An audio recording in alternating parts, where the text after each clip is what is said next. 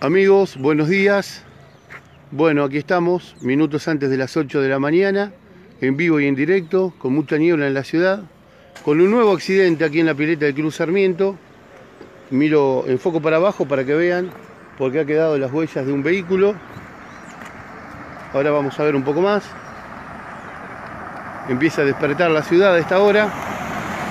Fíjese, el vehículo viene por Avenida Lem. Es un Focus.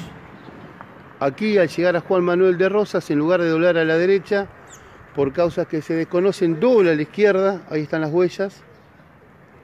El vehículo sube a la vereda y otra vez aparece rota la pared de la pileta del Club Sarmiento. Fíjense cómo ha quedado. Este es el abuelo chico. Aquí vemos los, los escombros. ¿Usted, el abuelo, sabe cómo está? ¿Nos cuenta? ¿Me puede...? Estoy, Está bien. estoy transmitiendo en directo. Me, me dicen, me dicen que está bien, ¿no? El- No, está bien, ya están las casas. Ah, ya están en su casa. Sí, ¿No está golpeado no? ¿Ah? ¿No está golpeado? ¿Se este golpe? Un golpe. ahí. Un Focus, ¿no? Un Sí. poco blanco.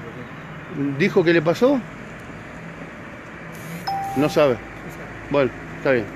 Le agradezco mucho. Estamos mostrando cómo quedó. No solo rompe la, la pared de ingreso, sino también la pared interna. Como vemos. Y miren los escombros, cómo ha quedado. Aquí es impresionante ver esto. Obviamente nos trae malos recuerdos. Es cierto, es cierto lo que decís. Dobla la columna que está. A ver si podemos acercar un poquito la imagen. Dobla aquella columna y por metros no se mete a la pileta. Es increíble, pero. Si no agarra la columna, va al Sí, agua. es probable que si no agarre la columna están las rejas atrás y después está la pileta. Increíble. Mira ahí partes del vehículo que se puede observar. Dos meses.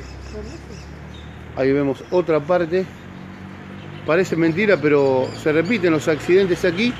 Y a diferencia del último, el último, el auto venía por allá, por la Juan Manuel de Rosas, sube a la vereda y rompe aquí la pared y bueno, luego se, eh, lamentablemente eh, choca a Lucas Salomón ocasionándole su fallecimiento.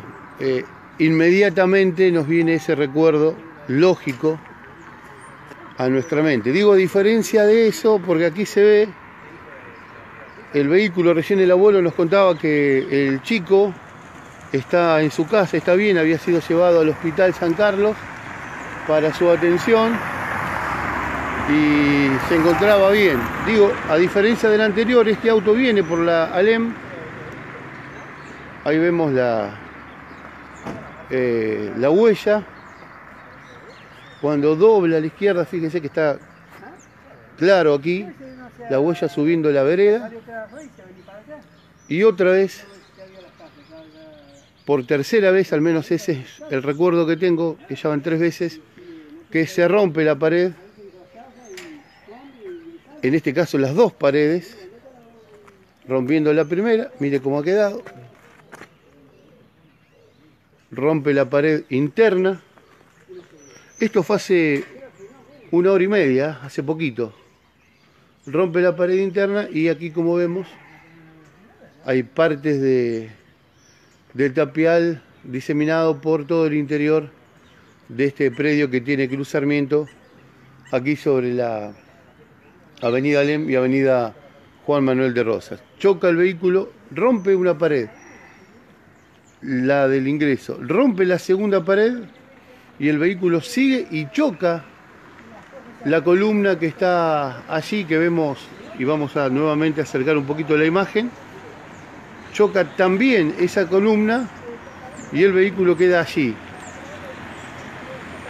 De no ser por la columna, uno imagina, porque las rejas también están torcidas, las rejas que están atrás, eh, hasta pudo haber llegado a caer en la pileta, es increíble, ¿no? Que esto se repita parece mentira, pero bueno, se reitera un accidente aquí en este sector de nuestra ciudad. Pide, Nora nos dice un semáforo, control de tránsito en esa esquina tan peligrosa como tantas otras.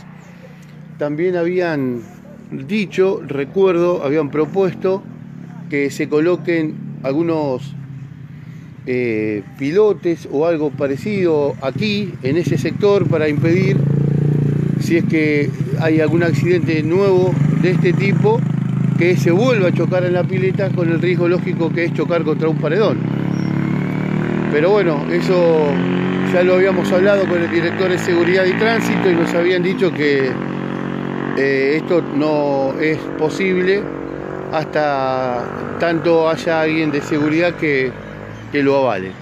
Bueno, te lo queríamos contar en vivo y en directo, como todo lo que pasa en la ciudad, a través de CS Hoy 24 Multimedia.